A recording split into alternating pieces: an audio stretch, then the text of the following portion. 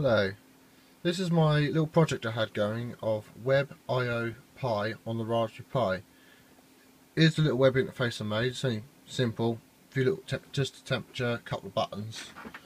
This is the board that I built. If we can go up enough. As you can see, we've got an extension lead here. That goes off to just a plug down there.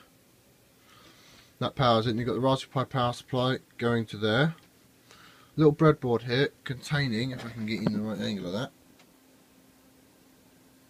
a little temperature sensor circuit running from the Raspberry Pi GPIO ports. And also from the GPIO ports is the relay module.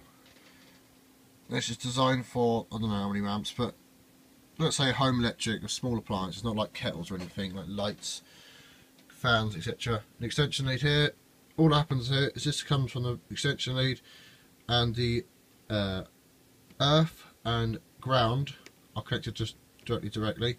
And then the live runs off round here and into the ports of the relays. And these relays are when they're not when they're not powered they're off. So you can see this this wire here leads down to a fan down there which is off. And I have another lead running around there which goes up to a fan up there. Don't mind the fog, it's been there ever since I've been in this room.